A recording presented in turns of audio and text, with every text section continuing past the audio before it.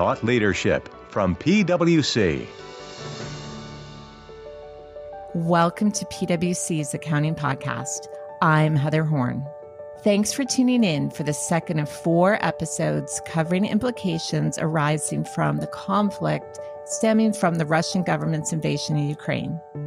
Today, we'll take a deep dive into the US and other government sanctions, including running through all the different tranches, what they all mean, and then at the end, we'll wrap up on what you should be doing now as a finance professional. We have never seen um, a sanctions campaign that has moved as quickly, as aggressively, and in such a multilateral fashion um, as the one against Russia has.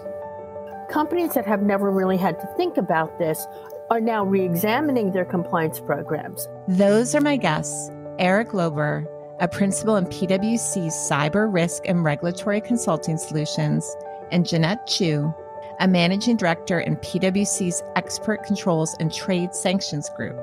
Eric and Jeannette opened my eyes to the breadth and depth of the sanctions.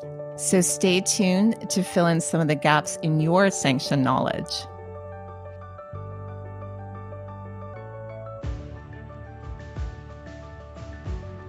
So, Eric and Jeannette, thanks so much for joining me today. Definitely an area where I think most of the US population has learned a lot more than they knew maybe a month you know or or more ago but still an area where we have a lot of questions and in particular, I also know this is the area that's changing a lot. And so, just to level set for the listeners, we're recording this on March 24th. And so, by the time you listen to this, things may be even have shifted more. But a lot of what we're going to talk about will be applicable, even if there are some changes here.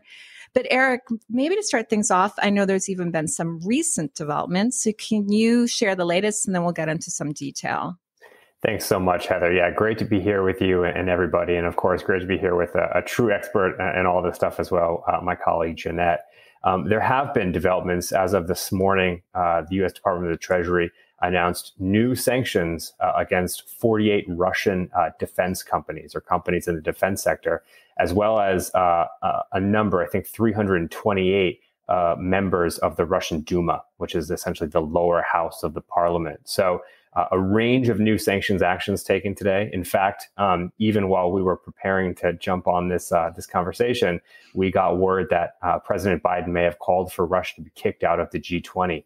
Um, so yes, there's uh, always something moving. I will say that those of us who've been closely following the space over the last month uh, have become accustomed to uh, operating very quickly and in response to sanctions and export control developments because there has been a major action or set of actions pretty much taking place um, on a weekly or even uh, sometimes on a daily basis, uh, beginning since the Russian invasion uh, just about a month ago.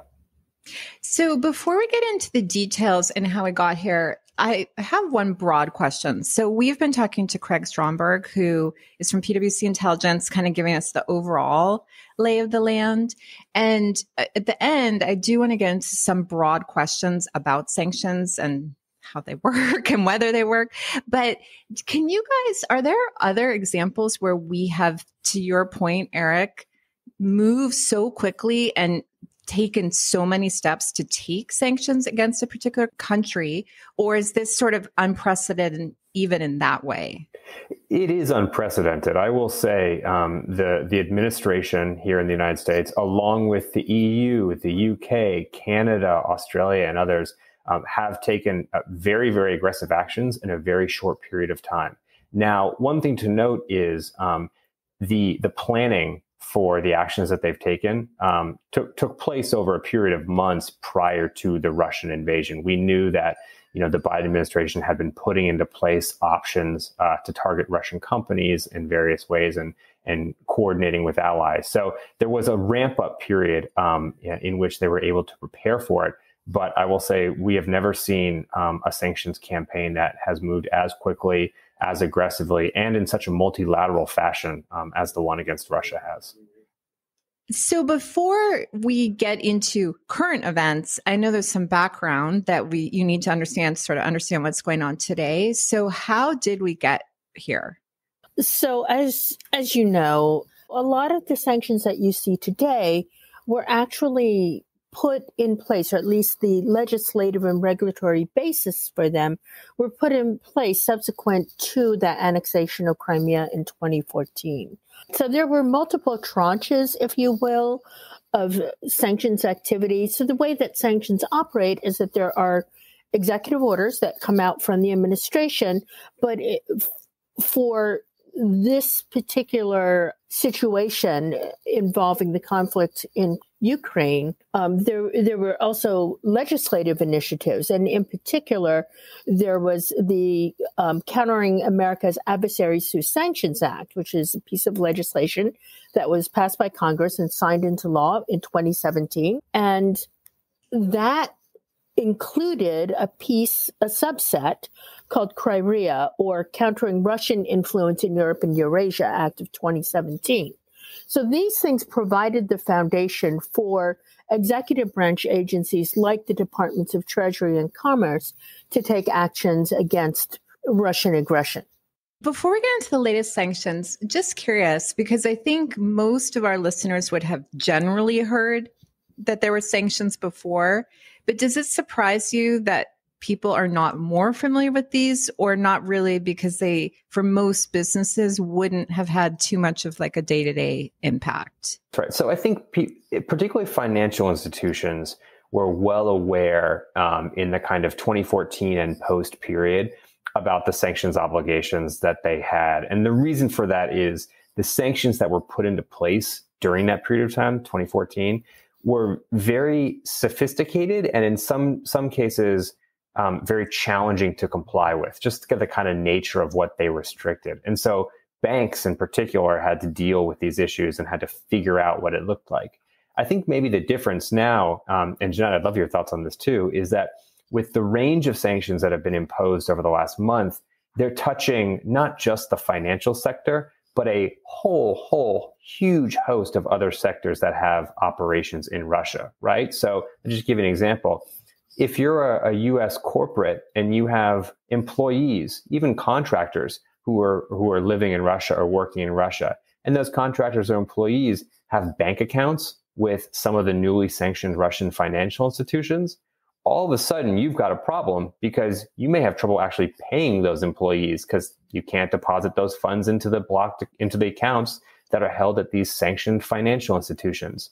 So it really went from an issue where financial institutions and energy companies and others were, were really focused on it in the sort of 2014 post period to a period where really anyone who's doing business in Russia now has to worry about it and it's very much front and center. Jeannette, interested for your thoughts on that too. Yeah, I completely agree, first of all, Eric, with what you said.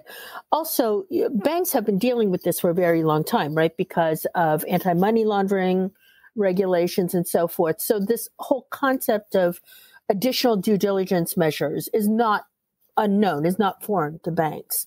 With regard to what you see now, particularly the overlay of export controls, which is more my niche area, you know, it used to be that people would think, ah, export controls, I don't need to think about that. I just deal with pencils or consumer goods or what have you. And oh, that's something that I'm not selling things that go boom. So it doesn't matter. Well, now it does, in fact, matter um, because it is such a very broad swath. And because export controls in recent years have really become a very important foreign policy tool um, that has been levied not just in Russia, but in many other contexts as well. So, to Eric's point, all of a sudden, companies that have never really had to think about this are now re examining their compliance programs and they're saying, wait a minute, am I going to be able to pay my employees? Should I still be there? There's the reputational damage, of course, right? But there's also who am I doing business with? And it's one thing if I if I have a clear list that I can just scrub against and say, okay, I'm not going to do business with these this morning's list of 300 plus parties or individuals. That's easy. But if it's something that is more like, oh, well, you know, they could be a military end user, but what does that really mean? Could that be, for example, a hospital that is owned and operated? By a military unit or by an army or something like that, right? These become much more fact specific issues. So, since we're talking about paying employees, I, I do want us to get to the broad sort of um, list of sanctions, but I think one that most people listening, because we're finance people, would have heard of is the fact that the Russian banks are being cut off of SWIFT. Mm-hmm.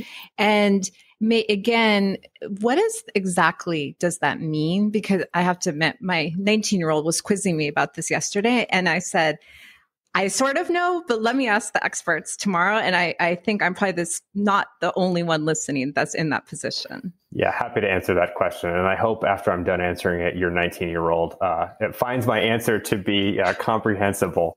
Um, so, so basically, um, Swift uh, is um, an interbank messaging system that facilitates uh, payment messages going back and forth um, from financial institutions. Now, what happened a few weeks ago is SWIFT ceased providing services to a number of Russian financial institutions, not all of them. So there are still quite a few Russian financial institutions that remain on SWIFT, but certain Russian financial institutions can now no longer send payment messages through the SWIFT network. Um, what it means in practice is it means that those uh, entities that have been, you know, sort of de-swifted uh, is sort of how people think about it or say it, um, have a much harder time processing um, international transactions, sending and receiving payment messages. They can still do it. So you can still use a fax machine, for example, to tell another financial institution to debit this account, this amount of money, or whatever the transaction is it just becomes much costlier um, and more burdensome to do.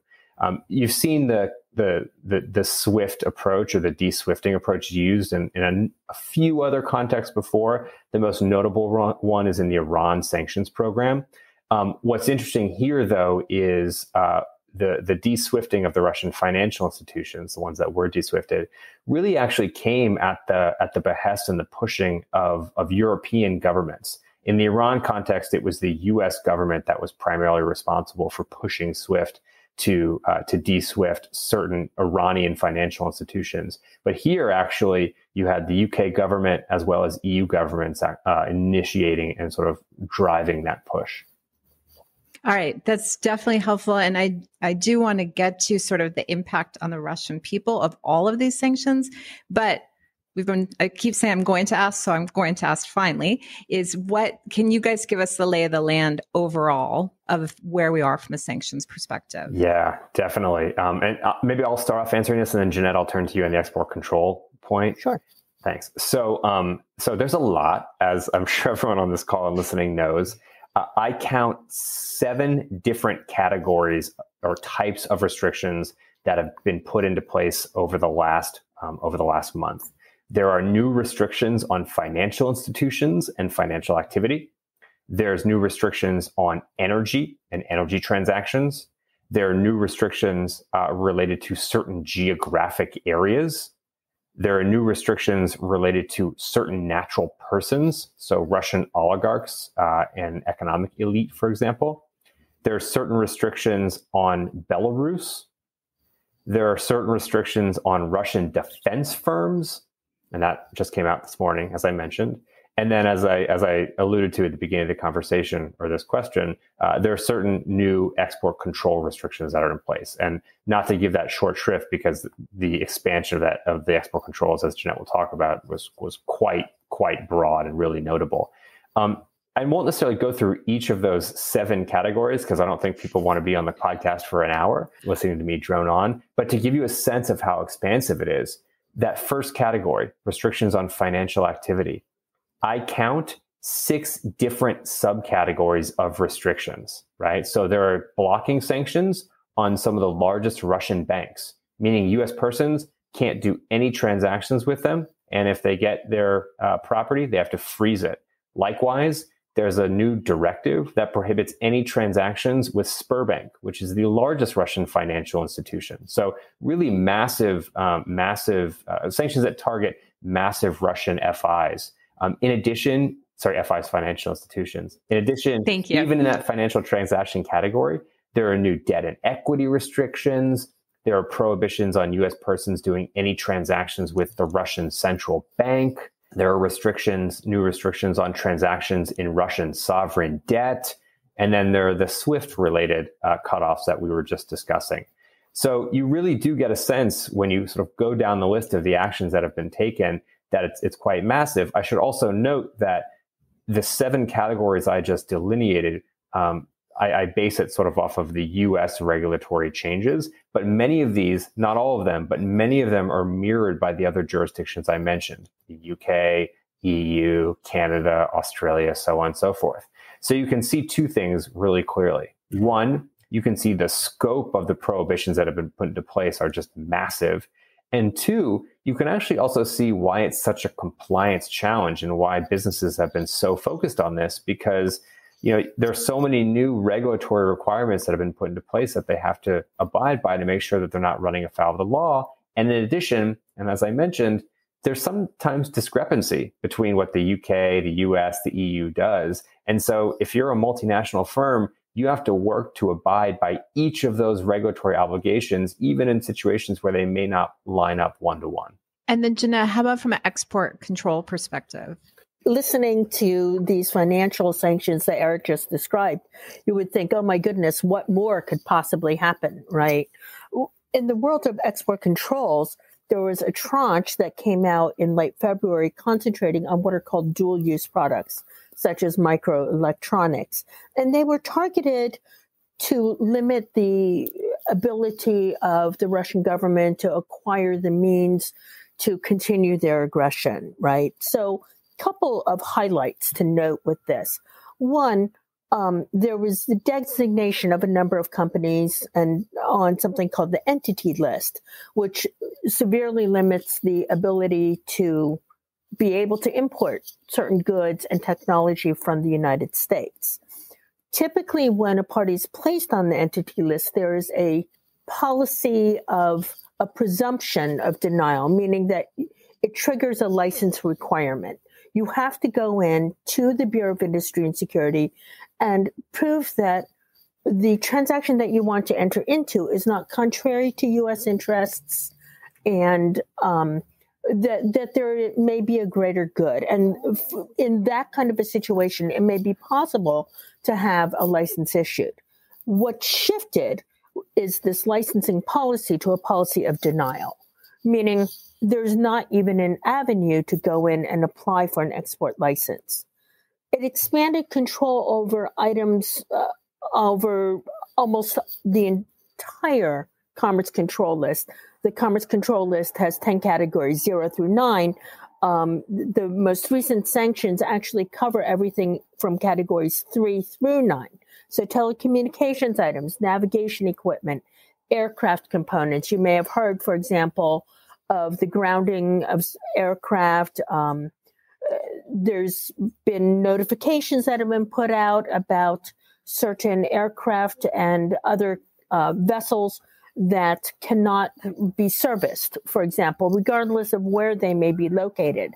So you could not provision, for example, a U.S. origin part or component, um, a spare part if something is broken. There have been expansions to the definition of what is considered to be a military end user and a movement of parties from a military end user list to the Treasury Department's specially designated nationals list um, which is uh, has more more re- draconian restrictions, if you will. And the expansion is something called the Foreign Direct Product Rule, which really is an extraterritorial application. And this is something that a lot of companies, a lot of people don't realize that U.S. export controls are extraterritorial in scope. They don't just affect what you do here. In other words, I put something in a box and I set it somewhere and now I can't. This also, for example, if I had a factory, let's say somewhere else in Europe, because that factory might be making something that uses US equipment or maybe uses US technology, like let's say to manufacture semiconductor chips, those would be captured by the foreign direct product rule, which would say that this foreign made item is subject to US jurisdiction and cannot go to the Russian to the Russian um, government or military or um, certain end users in Russia. Wow, that's definitely a lot to think about. And I think if I'm counting right, we only covered two categories so far, although Eric, maybe you hit a few more when you were running through those. Anything else in those categories eh, that you would highlight, Eric, as things that sort of the general listener may want to be aware of? Yeah, absolutely. So, a couple things. Um, one thing which is sort of broadly applicable, maybe three things. One thing which is broadly applicable, one thing which is um, giving a, lot of uh, companies challenges, and then a third thing which is more sort of of, of, of news interest. Um, on the first, uh, the US did put in place a ban on the import of Russian origin energy products. So, this is basically the oil import ban the U.S. actually doesn't import that much um, energy from Russia. I think the number is around five percent, so it's pretty small. Um, but it does show that the U.S. is is definitely willing to to escalate to energy. Um, and the big question, and so the political minds right now is whether or not the Europeans would would follow suit and, and include certain types of energy restrictions. Um, that's number one. Number two is the the issue, which is actually causing a lot of uh, challenges, particularly for for tech companies and for companies that rely on electronic interface or have employees in Ukraine, uh, and that's the geographic restrictions that I mentioned. So there are two areas, uh, two regions in eastern Ukraine, uh, Donetsk and Luhansk, which um, were recognized as independent uh, by the Russians uh, in in late February and as a result, the U.S. said uh, essentially they, they, those two regions became comprehensively embargoed jurisdictions. Right, U.S. persons can't do any business there. The challenge is these are regions, right? They're not countries, and so figuring out, for example, if someone is is accessing um, your you know your technology or you know your online um, shopping system or a payment system from those regions is actually quite complicated. You can try to do things like um, IP blocking, geo blocking, but if someone's using a VPN, it's very challenging to figure out just whether or not uh, they're coming from those those blocked regions. So that's actually something that we've seen a lot of our customers in the technology in the fintech space having to really try to address, um, and with, with, with varying degrees of approaches, and I think varying degrees of success. Um, the one other item, um, which I will mention, you know, I, I, I, talked about how there have been a range of natural person designations, right? So sanctions on individuals. And a lot of Russian oligarchs have been recently designated as a result of, you know, of, of the Russian invasion. The reason I raise this is it's very newsworthy because everyone sees, you know, the seizure of yachts and planes and all these, you know, like high ticket items but it actually also poses some very serious compliance challenges because these Russian oligarchs, you know, they're many of them are billionaires. They have assets all across the world, and oftentimes those assets are not in their names, right? They're set up or they're owned, you know, through you know shell companies that are established in jurisdictions where those jurisdictions don't necessarily have the most transparent financial crimes uh, standards, and so it's really challenging oftentimes for banks and for others to try to figure out, hey, like, is this property, is this company owned by an oligarch or not? And, and this is not something which is new to uh, to Jeannette's point from earlier about you know trying to figure out, hey, is this owned by a by an by a blocked person or a sanctioned person? U.S. companies and, and non-U.S. companies have been doing this for a long time, banks in particular. But the scope of it is new because when you have 20 or 30 new oligarchs who are designated and they have billions of dollars spread in non-transparent ways throughout the international financial system identifying that and figuring it out and, and blocking it if necessary is actually a pretty substantial task. So there really is a lot behind the kind of splashy you know oh they got you know a yacht associated with vladimir putin you know that was in a mediterranean port somewhere. Mm-hmm. are they going to block the sale of the football team in england. There's another exactly. one that got a lot of headlines. Exactly yeah. I think yeah. also behind the headlines is the fact that it's one thing again if you ha- if you clearly know who you can't do business with or who you can't make a payment to or lend money to that's one thing. But for some of these like for example a military end user again how do you define that? How do you define a government end user? How do you what do you do when something might or might not be list based, or if it goes beyond purely a list. There's also a principle in sanctions um, called the OFAC 50% rule, which means that any entity that is owned in the aggregate more than 50% by a specially designated national or SDN. So, for example, if I owned 39%, Eric comes along, takes another 12%, right?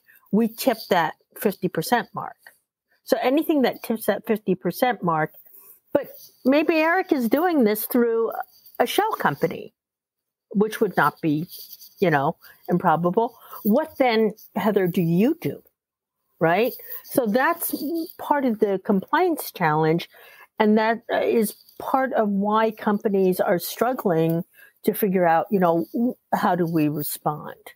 So, Eric, then if I put that all together, what's sort of what would be your high level summary? Yeah, it's a great question. I mean, the high level summary is um, there are, you know, as I mentioned, really these kind of seven different types of sanctions or export control categories. The really big one that everyone's sort of paying attention to uh, is sort of in the financial, uh, the financial restriction space, um, and also the export control space. But there are these other ones, three in particular, that we've seen that are that are causing lots of uh, consternation and challenges for compliance uh, among among you know U.S. businesses and non-U.S. businesses, and those are uh, new restrictions in the energy space, uh, new geographic restrictions on the two regions in eastern Ukraine, uh, and then um, trying to figure out really uh, with oligarchs and the other Russian sanctioned persons just how far their their ownership interests go in property um, across the world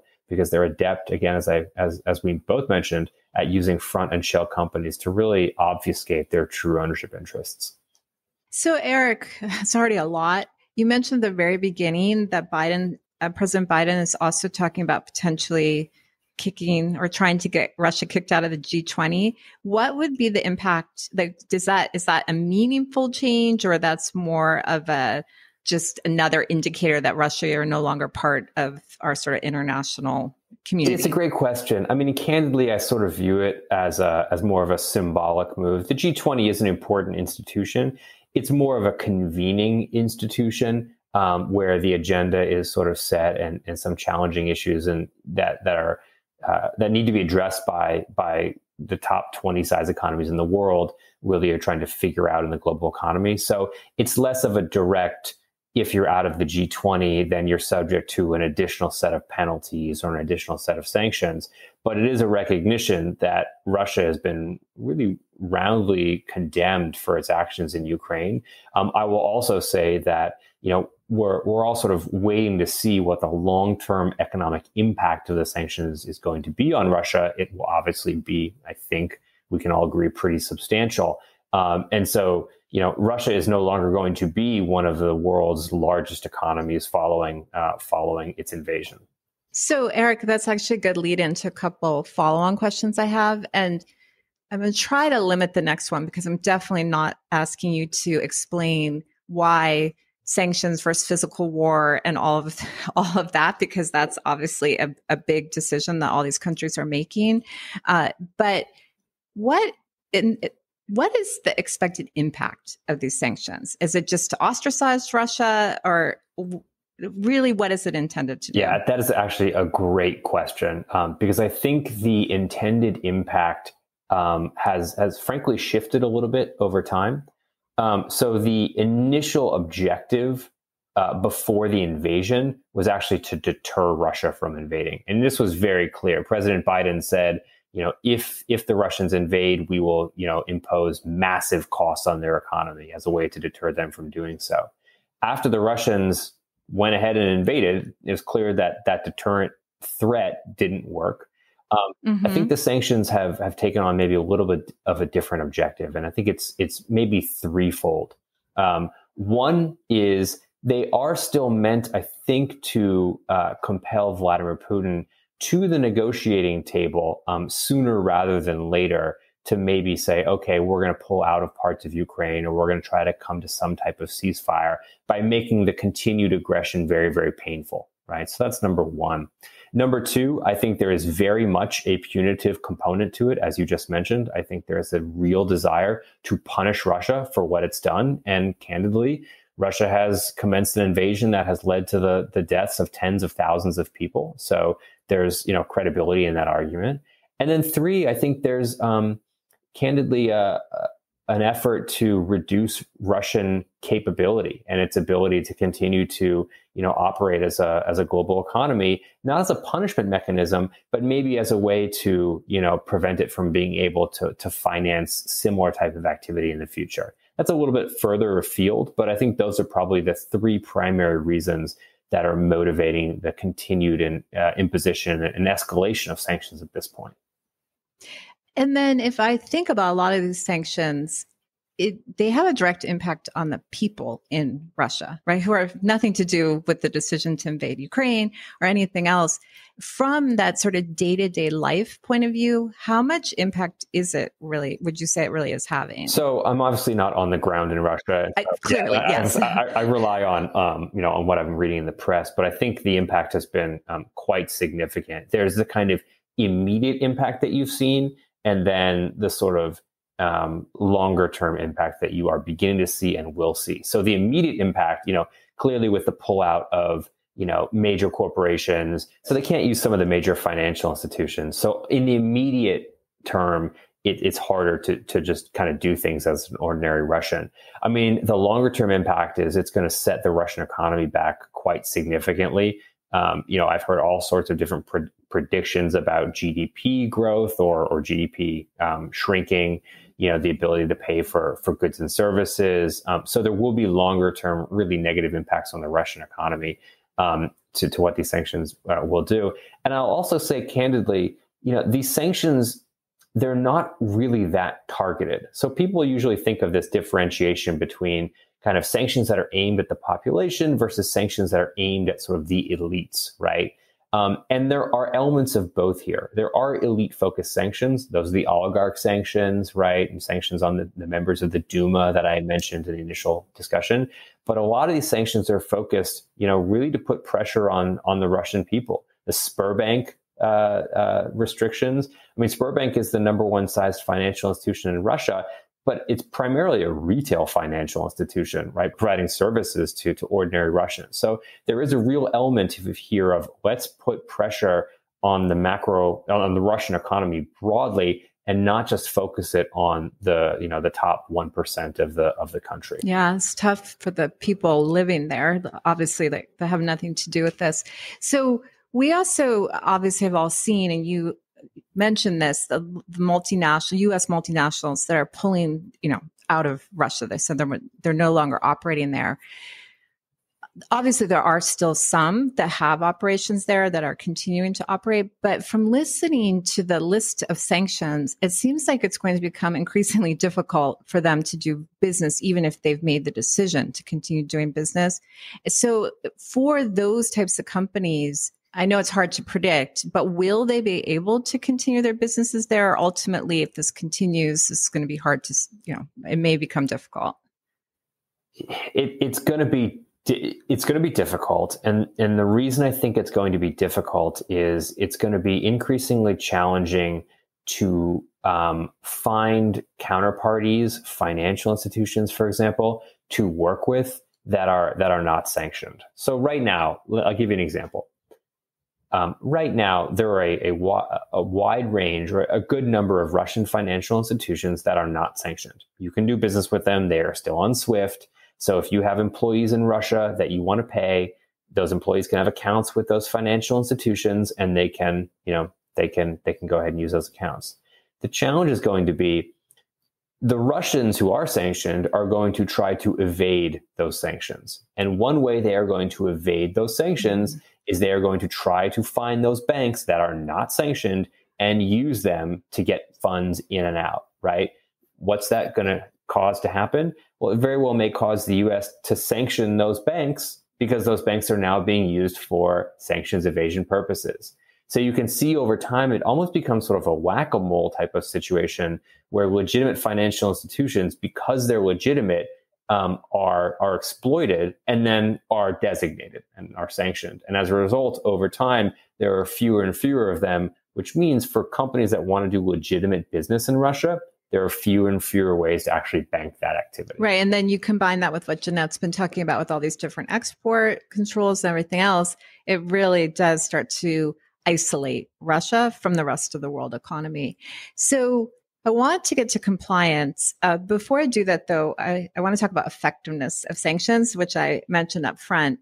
And happy, I've talked to Craig about this, but happy to hear your perspectives of if we've seen past sanctions work. And if you're willing to look into your crystal ball, that would be fantastic. But if you just want to look back in history and say what sort of we've seen historically, that would be great. So I would say that um, I've never had a crystal ball. Every once in a while, I have a murky marble. um, so, looking at a murky marble, some piece of this depends on how you define effectiveness, right? And so, when I look into my murky marble, which somehow routinely gets out of my grip, I think there's a definitional concern, a definitional concern around how do you assess quote unquote effectiveness? If the desire is for example, regime change, that might not happen. And as Eric said, you know, that's very much of a long game. If it is to exert pressure, cause pain, certainly that's happening right now. And to Eric's point, that's happening very broadly. It's not just the oligarchs, for example. There's also um, something that we haven't talked about, Heather, which is the potential impact of what are called secondary sanctions. And secondary sanctions come into play when um, a party that is not immediately implicated. In other words, let's say companies in another country get dragged in because they do something that violates US sanctions. The scope of US sanctions, the definition of who is subject to US sanctions is extraordinarily broad.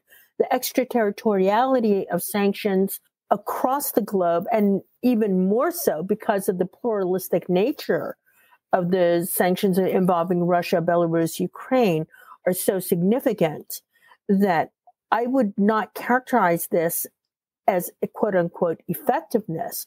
I would look at impact. And I look to that impact as being, as Eric has already described, extremely broad, extremely significant. So, yes, you can keep playing whack a mole and searching for that financial institution that you can do business with, and you might find that outside of Russia. In fact, there are some smaller banks, for example, in China that uh, have a way of transacting those messages that are outside of the SWIFT system. But again, what is the cost of doing business? What is the cost of that? And, you know, we have heard, for example, the Secretary of Commerce, um, Secretary Raimondo, be very clear and explicit in saying that they will aggressively pursue enforcement action against parties that would seek to somehow circumvent or violate U.S. sanctions. Can I add to that? I think Jeannette's right on this. Um, you know, two two additional points.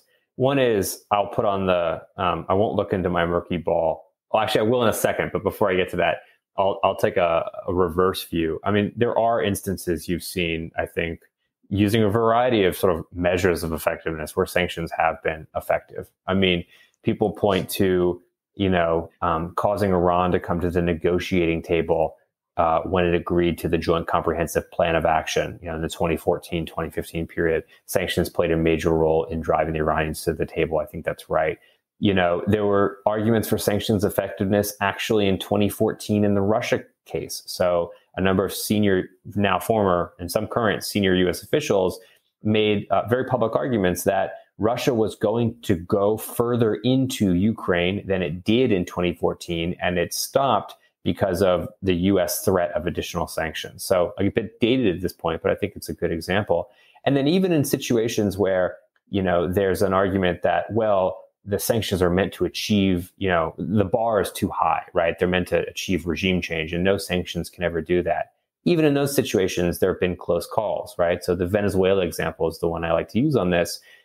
Is Nicolas Maduro still in power in Venezuela? Yes, he is. However, in I believe it was 2019, there were press reports that he was leaving the country, like on his way to the airport to fly out of the country, likely to Cuba, uh, in part because of the pressure campaign, and only stayed, sort of turned back around because he got a call from uh, allegedly the Russians to say, we'll, we'll back you. So even in situations where sanctions didn't actually lead, for example, to regime change, there's an argument that they got that they got pretty close.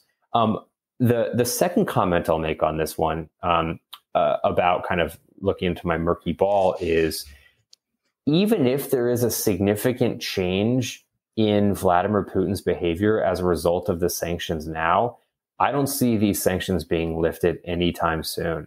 Um, I really don't, and I think that there's the, for a couple of reasons. One, there's really no political will here in the United States to lift them. There's a sense that Vladimir Putin has kind of shown his true colors as a you know a, a dictator who's willing to you know kill thousands of people. And I just think as a result of that, that even if it's a situation in which he stops the offensive tomorrow, there won't be a political will here or in Europe to actually go ahead and, and lift any of the things that we've we've put in place over over the last month. And the second point is that's to say nothing of the fact that, you know, US and European companies, even if sanctions were lifted tomorrow, I don't think we'll be going back into Russia anytime soon. There are serious reputational risks. There are threats of nationalization. You know, everything is sort of leaning in the way of Russia becoming uh, very isolated uh, and sanctions staying in place for for quite some time. So you anticipated one of my questions. So that was that was very helpful. So maybe final point, and is probably the most important one for the listeners. So as you guys are aware, most of our listeners would be CFO or controller in that department. And I think you made this point early on, Eric, that perhaps the banks and some of the energy companies are very familiar with having to deal with this. But I think for many of our listeners, this has always been something sort of to the side and not part of their everyday business. And Jeannette, you made the point about ordering pencils. Well, even someone ordering pencils now, you know, maybe needs to make sure they're understanding all of these. So, what should one of our listeners do now? So, the first thing, uh, because these are so very expansive, is really review your compliance programs. Understand what compliance measures you currently have in place so that you are able to pivot if necessary, right? So, a lot of people immediately leap, for example, to, oh, well, screening new parties have been designated.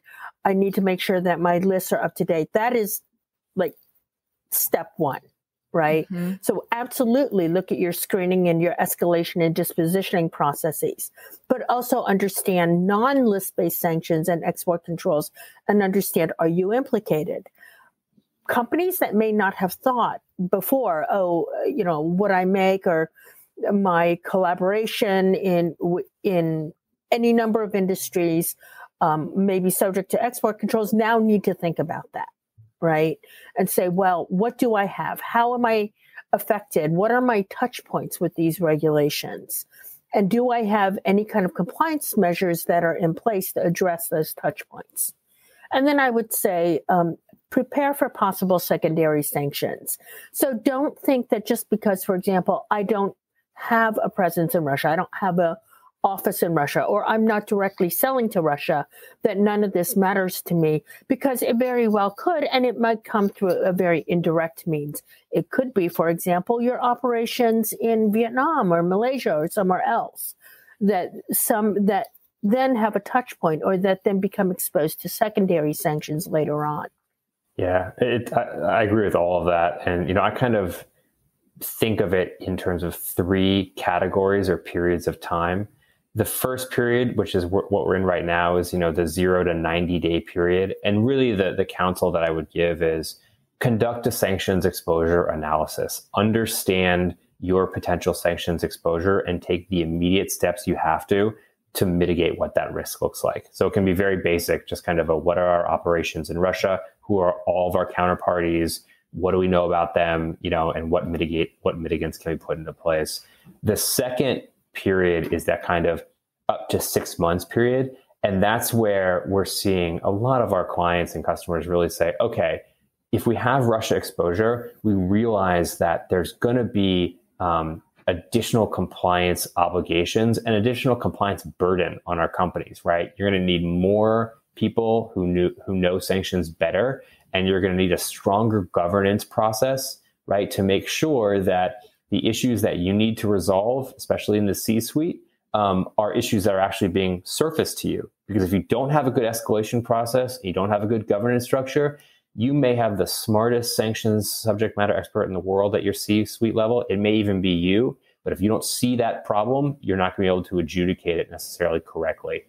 And then the third kind of phase um, that I think we're seeing folks begin to focus on is, you know, maybe out to maybe out to a year, six months to a year from now, and that's kind of the the internal audit focus to say, okay, a lot of stuff just happened. We adjusted in the short term. We made some medium term changes to ensure that we were able to handle the inc- increased compliance obligations. How did we do overall? Did we do well? Were there gaps in what we tried to do? And what can we do to ensure that next time, if there's a major action or series of actions like this, we're better prepared to deal with it or we're better better situated to deal with it. That's kind of the three ways I, I see, three phases I see playing out with this. Just to further um, emphasize Eric's point about looking ahead, right? For example, this whole issue around the foreign direct product rule, again, is not new.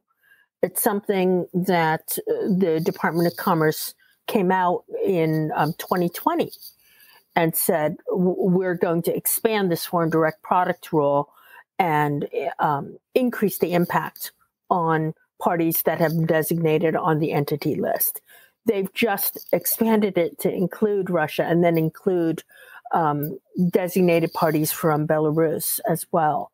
So I would say that as you enter that third phase that Eric is talking about with the internal audit function, you want to think about readiness. You want to think about how am I positioned to understand and respond to geopolitical threats. And a lot of this is your conversations with our good friend and colleague Craig Stromberg, right? Um, who contributes so so so much as wealth of information on that. But it's something that increasingly companies have to be more aware of.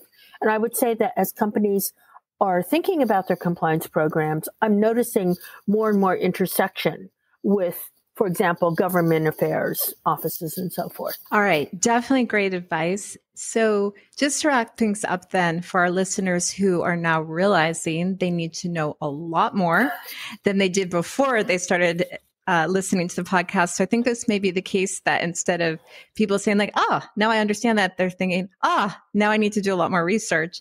What maybe each of you if you have one or two sources that you would say if if you were someone trying to get up to speed that you would sort of send them um, any final thoughts on that? So eric i'll go to you first.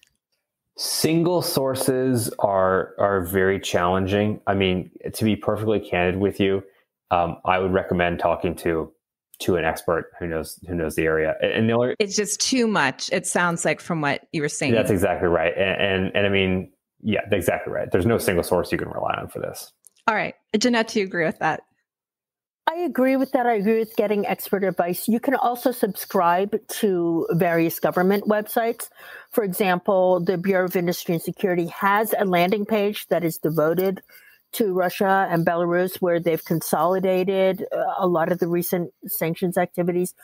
OFAC, you can subscribe to OFAC's um, alerts as well right? And get the Federal Register notices. The problem with that is these are very dense. Yes, right? it sounds like it. 89 pages of Federal Register. yeah, yeah. Eric was pinging me one weekend when I was literally on page 34. I'm like, Eric, I don't know that I've gotten to the point with your questioning quite yet.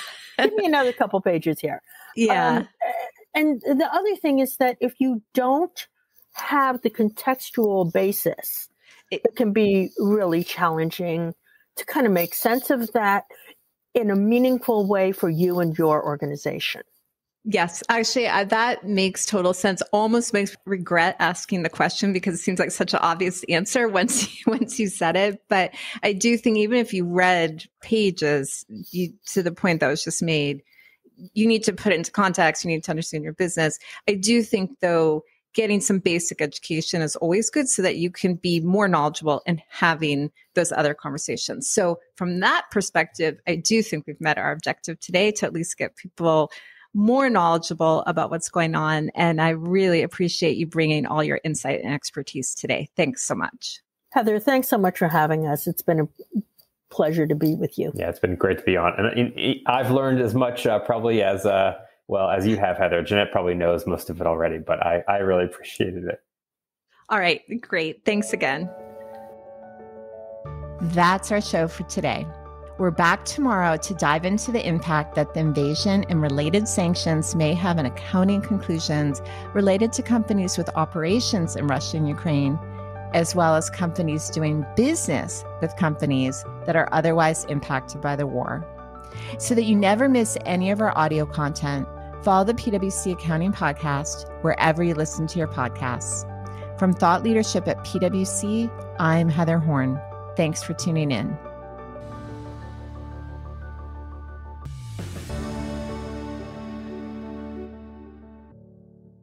This podcast is brought to you by PwC, all rights reserved. PwC refers to the U.S. member firm or one of its subsidiaries or affiliates, and they sometimes refer to the PwC network. Each member firm is a separate legal entity. Please see www.pwc.com/structure for further details.